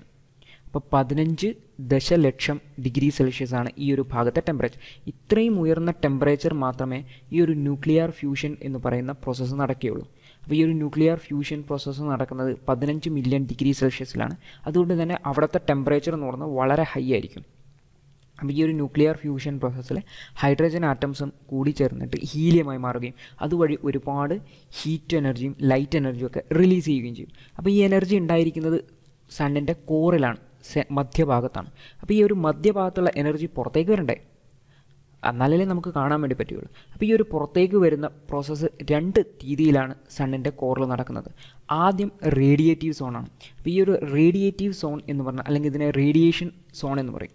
അല്ലെങ്കിൽ ഈ ഒരു കോറിൽ ഉണ്ടാകുന്ന എനർജിയെ it is carried outward this layer carried by photons or thermal radiation അതായത് ഹീറ്റ് എനർജി ട്രാൻസ്ഫർ ചെയ്യുന്നതിന് മൂന്ന് തരത്തിലുള്ള മെത്തേഡ്സ് ആണുള്ളത് ഒന്ന് റേഡിയേഷൻ മറ്റേത് കൺവെക്ഷൻ മൂന്നാമത്തേത് കണ്ടക്ഷൻ ഇത് കുറച്ച് സയൻസ് ആണ്. നമുക്കിതൊന്നും ആവശ്യമില്ല. ഈ ഒരു ഏരിയയുടെ പേര് മാത്രം മതി. എങ്കിലും ഞാൻ പറയുകയാണ് അപ്പോൾ ഈ ഒരു റേഡിയേഷന്റെ രൂപത്തിലാണ് പോകുന്നതെങ്കിൽ അതിനെ റേഡിയേറ്റീവ് സോൺ എന്നാണ് വിളിക്കുക. അപ്പോൾ കോറ് കഴിഞ്ഞിട്ട് തൊട്ടടുത്ത് റേഡിയേഷന്റെ രൂപത്തിലാണ് ഈ ഒരു എനർജി ട്രാൻസ്ഫർ ആവുക. അതിനെ നമ്മൾ റേഡിയേറ്റീവ് സോൺ എന്നാണ് വിളിക്കുക. അതിനുശേഷം റേഡിയേറ്റീവ് സോൺ കഴിഞ്ഞു കഴിഞ്ഞാൽ പിന്നെ നടക്കുന്നത് കൺവെക്ഷൻ എന്ന് പറയുന്ന ഒരു രീതിയിലൂടെയാണ്. അപ്പോൾ ഈ ഒരു ഏരിയനെ കൺവെക്റ്റീവ് സോൺ എന്ന് വിളിക്കും. നമ്മൾ സണ്ണിന്റെ ഇന്റേർണൽ സ്ട്രക്ചറിനെ കുറിച്ച് ഓർത്ത് വെക്കേണ്ടത് മൂന്ന് കാര്യങ്ങൾ മാത്രമാണ്. കോറുണ്ട് റേഡിയേറ്റീവ് സോൺ ഉണ്ട് കൺവെക്റ്റീവ് സോൺ ഉണ്ട്. റേഡിയേഷൻ എന്ന് പറഞ്ഞാൽ ഹൈ ടെമ്പറേച്ചറാണ് അപ്പോൾ കോർ ആദ്യം അവിടെയാണ് ന്യൂക്ലിയർ ഫ്യൂഷൻ റിയാക്ഷൻ നടക്കുന്നത്. ഹൈ ടെമ്പറേച്ചർ റീജിയൻ ഈ ഒരു ഹൈ ടെമ്പറേച്ചർ റീജിയനിൽ ആദ്യം നടക്കുന്നത് തെർമൽ റേഡിയേഷൻസ് ആണ്. അപ്പോൾ അതിനെ റേഡിയേറ്റീവ് സോൺ എന്ന് വിളിക്കും. പിന്നെയുള്ളതാണ് കൺവെക്റ്റീവ് സോൺ അപ്പോൾ മൂന്ന് പേര് ഓർത്ത് വെക്കണം. Core radiative zone convective zone അതിനുശേഷം അപ്പം നമ്മളിപ്പോൾ ഏകദേശം സണ്ണിന്റെ ഇന്റീരിയൽ സ്ട്രക്ചറൊക്കെ കഴിഞ്ഞ് സർഫസിലെത്തി അപ്പോൾ ഈ ഒരു സണ്ണിന് സർഫസ് ഉണ്ടോ? സണ്ണിനൊരു സർഫസ് ഉണ്ട്. ആ ഒരു സർഫസിനെയാണ് നമ്മൾ ഫോട്ടോസ്ഫിയർ എന്ന് വിളിക്കുന്നത്. The boundary between the sun's interior and the solar atmosphere is called photosphere അപ്പോൾ ഈ ഒരു ഫോട്ടോസ്ഫിയർ എന്ന് പറയുമ്പോൾ പറയുന്ന ഭാഗമാണ് നമ്മൾ കാണുന്ന പ്രദേശം. That is the we call visible area of the sun അപ്പം നമ്മൾ സൂര്യന്റെ ഏത് ഭാഗമാണ് കാണുന്നത് എന്ന് ചോദിച്ചു കഴിഞ്ഞാൽ നമ്മൾ ഫോട്ടോസ്ഫിയർ ആണ് കാണുക. ഇതാണ് നാലാമത്തെ ഭാഗം. Core radiative zone convective zone അടുത്തത് സൂര്യന്റെ സർഫസ് ആണ്. അതിനെ നമ്മൾ ഫോട്ടോസ്ഫിയർ എന്ന് വിളിക്കും. ഏകദേശം ഫോട്ടോസ്ഫിയറിലെ ടെമ്പറേച്ചർ എന്ന് പറഞ്ഞാൽ അയ്യായിരത്തി അഞ്ഞൂറ് മുതൽ ആറായിരം ഡിഗ്രി സെൽഷ്യസ് വരെയാണ്. അതായത് കോറിലെ ടെമ്പറേച്ചർ എന്ന് പറഞ്ഞാൽ പതിനഞ്ച് ദശലക്ഷം ഡിഗ്രി സെൽഷ്യസ് ആയിരുന്നു. അവിടെ നിന്നും നമ്മുടെ ഫോട്ടോസ്ഫിയറിലേക്ക് അല്ലെങ്കിൽ സർഫസിലേക്ക് എത്തുന്ന സമയത്ത് അത് അയ്യായിരത്തി അഞ്ഞൂറിനും ആറായിരം ഡിഗ്രി സെൽഷ്യസിനും ഇടയിലേക്ക് കുറഞ്ഞു. ഈ ഒരു ആറായിരം ഡിഗ്രി സെൽഷ്യസിലുള്ള സൺ എമിറ്റ് ചെയ്യുന്ന റേഡിയേഷൻസ് ആണ് നമ്മൾ പുറത്തേക്ക് കാണുന്നത്. അപ്പോൾ ഈ കാണുന്ന ഭാഗത്തിന് നമ്മൾ ഫോട്ടോസ്ഫിയർ എന്നാണ് വിളിക്കുന്നത്. അപ്പോൾ സണ്ണിന്റെ ഇന്റീരിയറും സർഫ് അറ്റ്മോസ്ഫിയറും തമ്മിലുള്ള സെപ്പറേറ്റിംഗ് പോയിന്റാണ് ബൗണ്ടറിയാണ് ഫോട്ടോസ്ഫിയർ അല്ലെങ്കിൽ ഇതിനെ സർഫസ് എന്ന് വിളിക്കാം. അപ്പോൾ സൺസിന്റെ സൂര്യന്റെ സർഫസിനെയാണ് നമ്മൾ ഫോട്ടോസ്ഫിയർ എന്ന് വിളിക്കുന്നത്. അപ്പോൾ ഇതാണ് നമ്മുടെ വിസിബിൾ ഏരിയ ഇനി ഞാൻ പറഞ്ഞു സണ്ണിന് ഒരു അറ്റ്മോസ്ഫിയർ ഉണ്ടെന്ന്. അപ്പോൾ ഈ ഒരു അറ്റ്മോസ്ഫിയറിനെ നമുക്ക് രണ്ടായിട്ട് തിരിക്കാൻ വേണ്ടി പറ്റും. അപ്പോൾ സൂര്യന്റെ ഏറ്റവും അടുത്തുള്ള അറ്റ്മോസ്ഫിയറിനെ അതിനെ ക്രോമോസ്ഫിയർ എന്നാണ് വിളിക്കുക. The lower region of the solar atmosphere is called chromosphere അതായത് സർഫസിന് തൊട്ട് മുകളിലുള്ള ഭാഗത്തിനെയാണ് ക്രോമോസ്ഫിയർ എന്ന് വിളിക്കുക. അതായത് ഫോട്ടോസ്ഫിയർ കഴിഞ്ഞാൽ തൊട്ടടുത്ത് ക്രോമോസ്ഫിയർ ഈ ക്രോമോ എന്ന് പറഞ്ഞാൽ കളേർഡ് എന്നാണ് അർത്ഥം. അപ്പോൾ കളറുള്ള നമുക്ക് പ്രകാശത്തിൽ കളറ് കാണുന്നത് ഈ ഒരു ക്രോമോസ്ഫിയറിന് അപ്പോൾ the lower region of solar atmosphere is cold chromosphere അപ്പോൾ ഇത് നമ്മുടെ അഞ്ചാമത്തെ ഭാഗമാണ്. കോറുണ്ട് റേഡിയേറ്റീവ് സോൺ ഉണ്ട് കൺവെക്റ്റീവ് സോൺ ഉണ്ട് ഫോട്ടോസ്ഫിയർ ഉണ്ട്. പിന്നെ വന്നത് ക്രോമോസ്ഫിയർ ആണ്. ഇപ്പോൾ lower region of the atmosphere ഇനി upper portion of the atmosphere is called corona അപ്പോൾ സൂര്യന്റെ ഏറ്റവും ഔട്ടർ ആയിട്ടുള്ള ഏരിയയാണ് കൊറോണ എന്ന് വിളിക്കുന്നത്. Corona is much hotter than sun surface അതായത് ഫോട്ടോസ്ഫിയറിനെക്കാട്ടി കൊറോണയ്ക്ക് ടെമ്പറേച്ചർ കൂടുതലാണ്. അപ്പോൾ ഇതൊക്കെയാണ് നമ്മൾ സണ്ണിന്റെ സ്ട്രക്ചറിനെ കുറിച്ച് പഠിക്കേണ്ടത്. എന്നാൽ ഒരു ടേം കൂടിയുണ്ട് സോളാർ വിൻഡ് അതായത് സൂര്യൻ എന്ന് പറഞ്ഞാൽ ഹോട്ട് ഗ്യാസസ് ആണെന്ന് പറഞ്ഞു. അപ്പോൾ ഈ ഗ്യാസസ് എന്ന് പറഞ്ഞാൽ എപ്പോഴും മൂവ് ചെയ്തുകൊണ്ടേയിരിക്കും. അപ്പോൾ the flow of plasma that moves outward through our solar system into interstellar space ചില സമയത്ത് സൂര്യനിൽ നടക്കുന്ന റിയാക്ഷൻസിന്റെ ഭാഗമായിട്ട് ഈ ഒരു സണ്ണിന്റെ സർഫസിലുള്ള ഗ്യാസസ് പുറത്തേക്ക് തള്ളും. ചാർജുള്ള പാർട്ടിക്കിൾസുള്ള ഈ ഒരു ഗ്യാസസ് പുറത്തേക്ക് തള്ളും. അതൊരു കാറ്റിന്റെ രൂപത്തിലാണ് നമ്മുടെ ഇന്റർസ്റ്റെല്ലാർ സ്പേസിലേക്ക് വരിക. അതായത് നമ്മുടെ ഗ്രഹങ്ങളൊക്കെ ഇരിക്കുന്ന സ്പേസിലേക്ക് വരിക. ഇതിനെയാണ് സോളാർ വിൻഡ് എന്ന് വിളിക്കുന്നത്. അപ്പം നമ്മൾ സോ സൂര്യന്റെ സ്ട്രക്ചറിനെ കുറിച്ച് അറിഞ്ഞു വരിക്കേണ്ട കാര്യങ്ങൾ ഇതൊക്കെയാണ്. ആറ് ഭാഗങ്ങളുണ്ട്. ഏറ്റവും സെന്ററിലുള്ളത് കോറാണ് അവിടെയാണ് ന്യൂക്ലിയർ ഫ്യൂഷൻ റിയാക്ഷൻ നടക്കുന്നത്. അവിടെയാണ് ഏറ്റവും ടെമ്പറേച്ചർ കൂടുതലുള്ളത്. തൊട്ടടുത്തുള്ള ഭാഗമാണ് റേഡിയേറ്റീവ് സോൺ ആദ്യം നടക്കുന്നത് റേഡിയേഷനാണ് പിന്നെ നടക്കുന്നത് കൺവെക്ഷനാണ് കൺവെക്റ്റീവ് സോൺ പിന്നെയുള്ളത് ഫോട്ടോസ്ഫിയർ അതാണ് സൂര്യന്റെ സർഫസ് അതാണ് നമ്മൾ കാണുന്ന ഏരിയയും അതിന്റെ ടെമ്പറേച്ചർ ഏകദേശം അയ്യായിരത്തി അഞ്ഞൂറ് മുതൽ ആറായിരം ഡിഗ്രി സെൽഷ്യസ് വരെയാണ്. അതിനുശേഷമാണ് ക്രോമോസ്ഫിയർ ഉള്ളത്. അതിനുശേഷമാണ് കൊറോണ ഉള്ളത്. അപ്പോൾ ഏറ്റവും ഔട്ടറായിട്ടുള്ള പോർഷനാണ് കൊറോണ അറ്റ്മോസ്ഫിയറിന്റെ ഏറ്റവും ഔട്ട് ഔട്ടറായിട്ടുള്ള പോർഷനാണ് കൊറോണ അപ്പോൾ കൊറോണ എന്ന് പറയുന്നത് ഫോട്ടോസ്ഫിയറിനെക്കാട്ടും മച്ച് ഹയർ ടെമ്പറേച്ചറാണ് ഇപ്പോൾ സൂര്യന്റെ അറ്റ്മോസ്ഫിയർ അല്ലെങ്കിൽ സർഫസ് ടെമ്പറേച്ചർ എന്ന് പറയുന്നത് അയ്യായിരത്തി അഞ്ഞൂറും ആറായിരം ഡിഗ്രി സെൽഷ്യസിനും ഇടയിലാണ്. ഇനി നമുക്ക് നമ്മൾ നമ്മുടെ സോളാർ സിസ്റ്റത്തിലെ ഏറ്റവും സെൻട്രൽ പോർഷനായ സ്റ്റാറിനെ കുറിച്ച് പഠിച്ചു. ദ പ്ലാനറ്റ്സ് അടുത്തത് പ്ലാനറ്റ്സ് ആണ്. അതായത് സൂര്യന് ചുറ്റുമുള്ള ഗ്രഹങ്ങളെക്കുറിച്ചാണ് ഭൂമി ഉൾപ്പെടെയുള്ള എട്ട് ഗ്രഹങ്ങളെക്കുറിച്ച് അപ്പോൾ എന്താണ് ഈ ഒരു പ്ലാനറ്റും സണ്ണും തമ്മിലുള്ള വ്യത്യാസം എന്ന് നോക്കാം. Planet is a celestial body which does not have light or heat as its own അതായത് സ്വന്തമായിട്ട് ലൈറ്റോ ഹീറ്റോ ഒന്നുമില്ലാത്ത സെലസ്റ്റിയൽ ബോഡിയാണ് പ്ലാനറ്റ്സ് അവ a planet should possess the following qualities എങ്ങനെയാണ് ഏത് ബോഡീനെയാണ് നമ്മളൊരു പ്ലാനറ്റ് എന്ന് വിളിക്കുക എന്ന് നോക്കാം. നമ്മൾ സോളാർ സിസ്റ്റത്തിന്റെ കേസിലാണ് പറയുന്നത്. അപ്പോൾ നാല് കണ്ടീഷൻസ് ഉണ്ട് ഒരു ബോഡി അത് പ്ലാനറ്റ് ആവണമെങ്കിൽ. ഫസ്റ്റ് കണ്ടീഷൻ എന്ന് പറഞ്ഞാൽ it should orbit around the sun അതായത് ആ ബോഡി സൂര്യന് ചുറ്റും കറങ്ങിക്കൊണ്ടിരിക്കണം.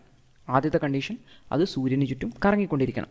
രണ്ടാമത്തെ condition it should not be a satellite of a any planet എന്താണ് ഈ സാറ്റലൈറ്റ് സാറ്റലൈറ്റ് സാറ്റലൈറ്റ് എന്ന് പറഞ്ഞാൽ ഉപഗ്രഹം. ഒരു ഗ്രഹത്തെ ചുറ്റിക്കൊണ്ടിരിക്കുന്ന മറ്റൊരു ബോഡീനെയാണ് നമ്മൾ ഉപഗ്രഹം എന്ന് വിളിക്കുന്നത്. അപ്പോൾ ഇപ്പോൾ ഭൂമിയുടെ ഉപഗ്രഹമാണ് ചന്ദ്രൻ. ഇത്തരത്തിലുള്ള സാറ്റലൈറ്റ്സിനെ പ്ലാനറ്റിന്റെ കാറ്റഗറിയിലേക്ക് വരികയില്ല. അപ്പോൾ ആദ്യത്തെ കണ്ടീഷൻ എന്ന് പറഞ്ഞാൽ it should orbit around the sun സൂര്യനെ ചുറ്റണം. രണ്ടാമത് it should not be a satellite of any planet മൂന്നാമത്തെ കണ്ടീഷൻ എന്ന് പറഞ്ഞാൽ അതിന് സ്വന്തമായിട്ട് മാസും ഗ്രാവിറ്റിയും കാരണം സ്വന്തമായിട്ടൊരു സ്പിറിക്കൽ ഷേപ്പ് അറ്റൈൻ ചെയ്യാൻ വേണ്ടി പറ്റണം. Due to its own mass and self gravity it should get a spherical shape കാരണം ഈ ഒരു സോളാർ സിസ്റ്റത്തിൽ ഒരുപാട് ബോഡീസ് ഉണ്ട്.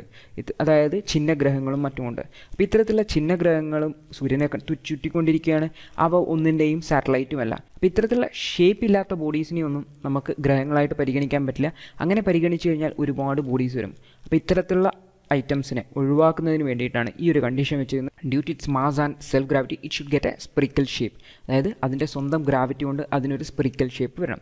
അതായത് ഒരു മിനിമം ഗ്രാവിറ്റേഷണൽ ഫോഴ്സ് അല്ലെങ്കിൽ മിനിമം മാസ് ഉണ്ടെങ്കിൽ മാത്രമേ അതിന് സ്പ്രിക്കൽ ഷേപ്പ് അറ്റൈൻ ചെയ്യാൻ പറ്റുള്ളൂ. അപ്പോൾ അതിനൊരു മിനിമം സൈസ് ഉണ്ടാവണം എന്നാണ് ഈ ഒരു കണ്ടീഷൻ കൊണ്ട് ഉദ്ദേശിക്കുന്നത്. അടുത്ത കണ്ടീഷനാണ് ഏറ്റവും പ്രധാനപ്പെട്ടത്.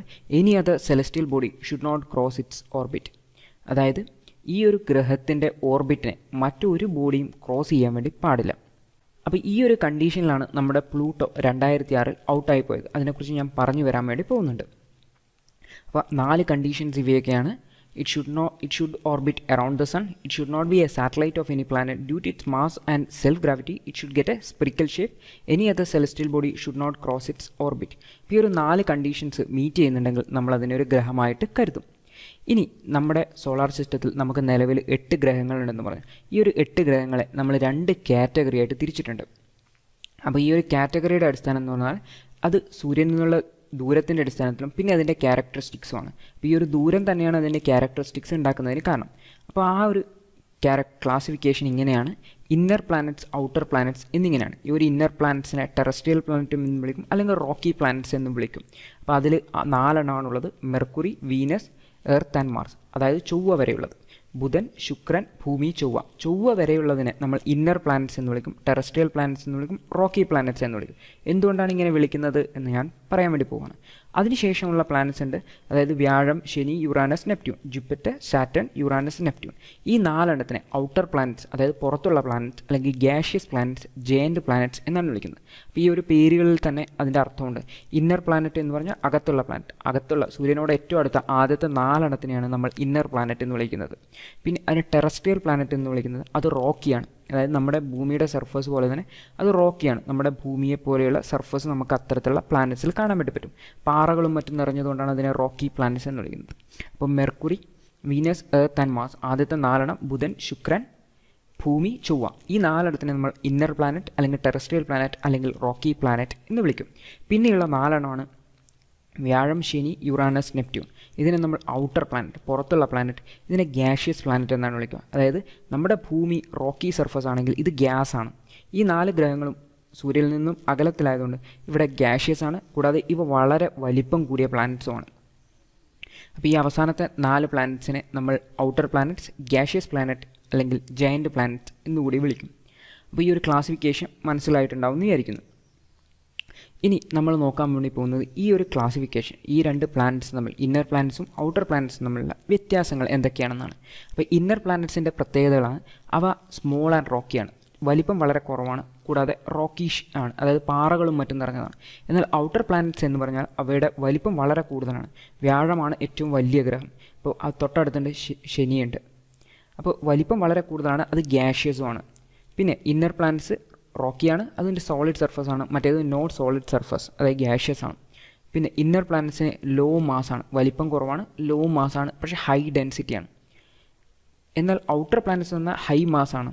പക്ഷേ ലോ ഡെൻസിറ്റിയാണ് കാരണം ഗ്യാസ് ആണ് മൊത്തം നിറഞ്ഞിരിക്കുന്നത്. ഇന്നർ പ്ലാനറ്റ്സ് എന്ന് പറഞ്ഞാൽ ക്ലോസ് ടു ദ ആണ്. സൂര്യനോട് അടുത്ത ഗ്രഹങ്ങളെയാണ് നമ്മൾ ഇന്നർ പ്ലാനറ്റ്സ് എന്ന് വിളിക്കുക. ഔട്ടർ പ്ലാനറ്റ്സ് എന്നാൽ ഫാർ ഫ്രം ദ സൺ സൂര്യനിൽ നിന്ന് ഒരുപാട് അകലത്തിലുള്ളതാണ്.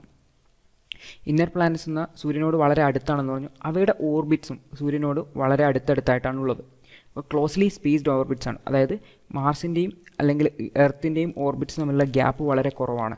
എന്നാൽ ഔട്ടർ പ്ലാനറ്റ്സ് എടുത്തു കഴിഞ്ഞാൽ ജുപ്പിറ്ററും സാറ്റേണും തമ്മിലുള്ള ഓർബിറ്റിന്റെ ഗ്യാപ്പ് എടുത്തു കഴിഞ്ഞാൽ വളരെ കൂടുതലാണെന്ന് മനസ്സിലാവാൻ വേണ്ടി വരും അപ്പോൾ ഈ സെപ്പറേറ്റഡ് ഓർബിറ്റാണ് ഔട്ടർ പ്ലാനറ്റ്സിന്റെ മറ്റൊരു പ്രത്യേകത. പിന്നെ ഇന്നർ പ്ലാനറ്റ്സിന് ഫ്യൂ മൂൺസ് മാത്രമാണ്. മ്യൂൺസ് എന്ന് പറഞ്ഞാൽ നാച്ചുറൽ സാറ്റലൈറ്റ്സിനെയാണ് നമ്മൾ മൂൺസ് എന്ന് വിളിക്കുക. അത് ഉപഗ്രഹങ്ങൾ. അപ്പോൾ ഇന്നർ പ്ലാനറ്റ്സിന് വളരെ കുറച്ച് മൂൺസ് അല്ലെങ്കിൽ നാച്ചുറൽ സാറ്റലൈറ്റ്സ് മാത്രമേ ഉള്ളൂ. അപ്പോൾ ചില ഗ്രഹ ഉപഗ്രഹങ്ങൾക്ക് ഉപഗ്രഹങ്ങൾ ഇല്ലതാണ്. എന്നാൽ ഔട്ടർ പ്ലാനറ്റ്സ് എടുത്തു കഴിഞ്ഞാൽ അവിടെ വ്യാഴവും ശനിയും തമ്മിൽ ഒരു മത്സരം നടന്നുകൊണ്ടിരിക്കുകയാണ്. ആർക്കാണ് ഏറ്റവും കൂടുതൽ? മൂൺസ് അല്ലെങ്കിൽ നാച്ചുറൽ സാറ്റലൈറ്റ്സ് ഉള്ളത് എന്നെ സംബന്ധിച്ച്. അവിടെ ഒരുപാട് മൂൺസിനെ നമുക്ക് കാണാൻ വേണ്ടി പറ്റും. ഇന്നർ പ്ലാനറ്റ്സിന് നമുക്ക് റിങ്ങുകളൊന്നുമില്ല അതായത് ഈ ഒരു ഗ്രഹത്തിന് ചുറ്റും പിന്നെ ഡസ്റ്റും മറ്റുമൊക്കെ ചേർന്നിട്ടുള്ള വലയങ്ങളുണ്ടാവും. ഈ ഒരു വലയങ്ങളൊന്നും നമുക്ക് ഇന്നർ പ്ലാനറ്റ്സിൽ കാണാൻ വേണ്ടി പറ്റില്ല. എന്നാൽ ഔട്ടർ പ്ലാനറ്റ്സിലാണെങ്കിൽ മിനി റിങ്സ് ഉണ്ട്. ഒരുപാട് വലയങ്ങളുണ്ട്. നമ്മൾ ശനിയുടെ ചിത്രം കണ്ടപ്പോൾ ആ റിങ്സ് നമുക്ക് വളരെ ക്ലിയർ ആയിട്ട് കാണാനും വേണ്ടി സാധിക്കുന്നുണ്ടായിരുന്നു. അപ്പോൾ ഇന്നർ പ്ലാനറ്റ്സിനെ നമ്മൾ ടെറസ്ട്രിയൽ പ്ലാനറ്റ്സ് എന്നാണ് വിളിക്കുന്നത്. കാരണം റോക്കി സർഫസ് ആയതുകൊണ്ട്. ഔട്ടർ പ്ലാനറ്റ്സിനെ ഗ്യാസ് ജയൻസ് എന്നാണ് വിളിക്കുന്നത്. അപ്പോൾ അതിൽ ഗ്യാസ് ആണെന്ന് അറിഞ്ഞിരിക്കുന്നത്. അപ്പോൾ ഇതൊക്കെയാണ് ഇന്നർ പ്ലാനറ്റ്സും ഔട്ടർ പ്ലാനറ്റ്സും തമ്മിലുള്ള ഒരു കമ്പാരിസൺ വളരെ സിമ്പിളാണ് നമുക്ക് ഈ ഒരു ആശയം മനസ്സിലുണ്ടെങ്കിൽ നമുക്ക് സ്വന്തമായിട്ട് തന്നെ എഴുതാൻ പറ്റുന്ന കാര്യങ്ങൾ മാത്രമേ ഉള്ളൂ. അപ്പോൾ ഇന്നർ പ്ലാനറ്റ്സ് ഇവയൊക്കെയാണ് Mercury Venus Earth and Mars outer planets Jupiter Saturn Uranus and Neptune അപ്പോൾ ഈ ഒരു ഇന്നർ പ്ലാനറ്റ്സും ഔട്ടർ പ്ലാനറ്റ്സും നമ്മളെ കാര്യങ്ങളൊന്ന് ഓർത്ത് വെക്കണം. ചിലപ്പോൾ ഒരു ചോദ്യത്തിൽ which of the following is not a feature of inner planets അല്ലെങ്കിൽ ഔട്ടർ പ്ലാനറ്റ്സ് എന്ന് പറഞ്ഞിട്ട് ഒരു ചോദ്യമൊക്കെ ഉണ്ടാവാനുള്ള സാധ്യതയുണ്ട്. അപ്പോൾ അതിൽ ഹൈ ഡെൻസിറ്റി ലോ മാസ് തുടങ്ങിയ കാര്യങ്ങൾ. ഡെൻസിറ്റി ഒക്കെ വരുമ്പോൾ നമുക്ക് ചിലപ്പോൾ കൺഫ്യൂഷൻ വരാൻ സാധ്യതയുണ്ട്. ഇപ്പോൾ ഇന്നർ പ്ലാന്റ്സ് അത് റോക്കാണ് പാറകളാണ്. അപ്പോൾ പാറയാവുന്ന സമയത്ത് ഡെൻസിറ്റി സാന്ദ്രത വളരെ കൂടുതലായിരിക്കും. മറിച്ച് ഔട്ടർ പ്ലാന്റ്സ് എന്ന് വെച്ച് കഴിഞ്ഞാൽ ഗ്യാസ് ആണ് അപ്പോൾ അതിന്റെ ഡെൻസിറ്റി വളരെ കുറവായിരിക്കും. അപ്പോൾ ഈ ഒരു ടേബിൾ ഒന്ന് മനസ്സിൽ ഓർത്തു വെച്ചിരുന്ന നല്ലതായിരിക്കും. ഇനി നമുക്ക് പ്ലാനറ്റ്സിലേക്ക് വീണ്ടും തിരിച്ചു വരാം. അപ്പോൾ ഈ ഒരു പ്ലാനറ്റിന് ഒരു ഗ്രഹത്തിന് രണ്ട് തരത്തിലുള്ള മോഷൻസ് ഉണ്ട്. രണ്ട് തരത്തിലുള്ള മൂവ്മെന്റ്സ് ഉണ്ട്. ഈ ഒരു രണ്ട് മൂവ്മെന്റ്സിനെ നമ്മൾ റൊട്ടേഷൻ റെവല്യൂഷൻ എന്നാണ് വിളിക്കുന്നത്. അപ്പോൾ എന്താണ് റൊട്ടേഷൻ അതായത് ഭൂമി സ്വന്തം ആക്സിസിന് ചുറ്റുമായിട്ട് ഇങ്ങനെ കറങ്ങിക്കൊണ്ടിരിക്കുന്നുണ്ട് ഇതിനെ നമ്മൾ റൊട്ടേഷൻ എന്ന് വിളിക്കും. അപ്പോൾ ഈ പേരുകൾ നമുക്ക് വരും ക്ലാസ്സുകളിൽ ആവശ്യമുണ്ട്. അപ്പോൾ ഈ പേരൊന്ന് ഓർമ്മിച്ച് വെക്കണം. ഭൂമി സ്വന്തം ആക്സിസിനെ റൊട്ടേറ്റ് ചെയ്യുന്നതിനെയാണ് കറങ്ങുന്നതിനെയാണ് റൊട്ടേഷൻ എന്ന് വിളിക്കുക. അപ്പോൾ ഈ ഒരു റൊട്ടേഷന്റെ ഭാഗമായിട്ടാണ് നമുക്ക് രാവും പകലും ഒക്കെ ഉണ്ടാവുന്നത്. രാത്രിയും പകലും ഒക്കെ ഉണ്ടാവുന്നത്. ഈ ഒരു റൊട്ടേഷൻ കാരണമാണ്. One rotation makes one planet അതായത് ഭൂമി സ്വന്തം ആക്സിസിൽ ഒരു കംപ്ലീറ്റ് റൊട്ടേഷൻ എടുക്കുന്ന സമയത്തിനെയാണ് നമ്മൾ ഒരു ദിവസം എന്ന് വിളിക്കുന്നത്. അപ്പോൾ എർത്തിന് നമുക്ക് ഇരുപത്തിനാല് മണിക്കൂർ വേണം ഒരു ഡേ ആവുന്നതിന് വേണ്ടിയിട്ട്. The planets moving around the sun is called revolution or a planet year ഗ്രഹങ്ങൾക്ക് മറ്റൊരു മൂവ്മെന്റ് ഉണ്ട്. അത് അതിന് സണ്ണിന് ചുറ്റും കറങ്ങിക്കൊണ്ടിരിക്കുന്നുണ്ട് ഓർബിറ്റിൽ അപ്പോൾ ഈ ഒരു മൂവ്മെന്റിനെ നമ്മൾ റവല്യൂഷൻ എന്നാണ് വിളിക്കുന്നത്. അപ്പോൾ രണ്ട് തരത്തിലുള്ള മൂവ്മെന്റ്സ് ഉണ്ട്. ഒന്ന് റൊട്ടേഷൻ അത് സ്വന്തം ആക്സിസിലുള്ള മൂവ്മെന്റ് ആണ്. അത് ഒരു ദിവസത്തിനെ നിർണയിക്കുന്നത്. രണ്ടാമത്തേതെന്ന് വെച്ചാൽ നക്ഷത്രത്തിന് ചുറ്റും അല്ലെങ്കിൽ സ്റ്റാറിന് ചുറ്റും അല്ലെങ്കിൽ സണ്ണിന് ചുറ്റുമുള്ള കറക്കമാണ് അതിനെ റവല്യൂഷൻ എന്ന് വിളിക്കും. ഇതാണ് ഒരു പ്രാവശ്യം കംപ്ലീറ്റ് റവല്യൂഷൻ പൂർത്തിയാക്കുന്നതിന് എടുക്കുന്ന സമയത്തിനാണ് നമ്മൾ ഒരു വർഷം എന്ന് വിളിക്കുന്നത്. അതായത് നമുക്ക് മുന്നൂറ്റി അറുപത്തഞ്ച് കാൽ ദിവസം വേണം ഒരു വർഷം ആവുന്നതിന് എന്നതുകൊണ്ട് അർത്ഥമാക്കുന്നത്. ഭൂമി മുന്നൂറ്റി അറുപത്തഞ്ച് പ്രാവശ്യം കറങ്ങുകയും ഒരു ഓർബിറ്റ്. കാൽഭാഗം ആവുമ്പോഴാണ് ഒരു പ്രാവശ്യം ഭൂമി സൂര്യനെ ചുറ്റി വരുന്നത്. അപ്പോൾ ഇത്രയും കാര്യങ്ങളാണ് നമുക്ക് പ്ലാനറ്റിനെ കുറിച്ച് ബേസിക് ആയിട്ട് അറിഞ്ഞു വയ്ക്കേണ്ട കാര്യങ്ങൾ ഇനി നമ്മൾ ഓരോ പ്ലാനറ്റിനെ ആയിട്ട് ചർച്ച ചെയ്യാൻ വേണ്ടി പോകുന്നത് അത് നമ്മൾ അടുത്ത ക്ലാസ്സിലാണ് ചെയ്യാൻ വേണ്ടി പോകുന്നത്. നമുക്ക് എട്ട് പ്ലാനറ്റുകളുണ്ട്. എട്ട് പ്ലാനറ്റിനും എടുത്ത് അതിന്റെ ഫീച്ചേഴ്സ് എന്തൊക്കെയാണ് അതിന്റെ പ്രത്യേകതകൾ എന്തൊക്കെയാണ് തുടങ്ങിയ കാര്യങ്ങളൊക്കെ നമ്മൾ വിശദമായിട്ട് ചർച്ച ചെയ്യേണ്ടതുണ്ട്. കൂടാതെ ഈ ഒരു സോളാർ സിസ്റ്റത്തിലുള്ള മറ്റ് കോമ്പണന്റ്സ് ഉണ്ട്. അതുപോലെ ഡ്വാർഫ് പ്ലാനറ്റ്സ് ഉണ്ട്. കൂടാതെ കുയിപ്പർ ബെൽറ്റ് പോലുള്ള ഭാഗങ്ങളുണ്ട്. അപ്പോൾ ഇത്തരം ഭാഗങ്ങളെക്കുറിച്ചൊക്കെ നമ്മൾ വിശദമായിട്ട് അടുത്ത ക്ലാസ്സിൽ ചർച്ച ചെയ്യും. അപ്പം ഞാൻ പറയാൻ വിട്ടൊരു കാര്യമുണ്ട്. പറഞ്ഞിട്ടുണ്ട്. പക്ഷേ അത് വിശദീകരിക്കാൻ വിട്ടൊരു കാര്യമുണ്ട്. നമ്മുടെ മുൻപ് ഒരു നവഗ്രഹങ്ങളാണ് ഉണ്ടായിരുന്നത് എന്ന് പറഞ്ഞു. അതായത് പ്ലൂട്ടോ എന്ന് പറയുന്ന ഒരു കുഞ്ഞ് ആളും കൂടി നമ്മുടെ ഗ്രഹങ്ങളുടെ കൂട്ടത്തിലുണ്ടായിരുന്നു. എന്നാൽ രണ്ടായിരത്തി ആറിൽ ഈ ഒരു ഇന്റർനാഷണൽ ആസ്ട്രോണമിക്കൽ യൂണിയൻ പ്രാഗിൽ ചേർന്ന ഒരു മീറ്റിങ്ങിൽ പ്ലൂട്ടോനെ എടുത്ത് പുറത്തേക്ക് കളഞ്ഞു. പ്ലൂട്ടോനെ ഗ്രഹങ്ങളുടെ സ്റ്റാറ്റസിൽ നിന്നും പ്ലാനറ്റിന്റെ സ്റ്റാറ്റസ് എടുത്ത് ഒരു ഡ്വാർഫ് പ്ലാനറ്റ് അല്ലെങ്കിൽ കുള്ളൻ ഗ്രഹം അല്ലെങ്കിൽ ഇരുണ്ട ഗ്രഹം എന്നുള്ള ഒരു രൂപത്തിലേക്ക് മാറ്റുകയാണ് ചെയ്തത്. അപ്പോൾ പ്ലൂട്ടോനെ പുറത്തു കളഞ്ഞത് ആഗസ്റ്റ് രണ്ടായിരത്തി ആറിൽ പ്രാഗിൽ നടന്ന ഇന്റർനാഷണൽ ആസ്ട്രോണമിക്കൽ യൂണിയന്റെ ഒരു മീറ്റിങ്ങിലാണ്. പ്ലൂട്ടോയുടെ ഓർബിറ്റിനെ ക്രോസ് ചെയ്യുന്ന മറ്റൊരു സെലസ്റ്റിയൽ ബോഡീനെ കണ്ടുപിടിച്ചതോടെയാണ് പ്ലൂട്ടോനെ പുറത്താക്കാൻ വേണ്ടി കാരണമായത്. മറ്റു കാരണങ്ങളുണ്ട് ഇതാണ് അതിൽ പ്രധാനപ്പെട്ട ഒരു കാരണം.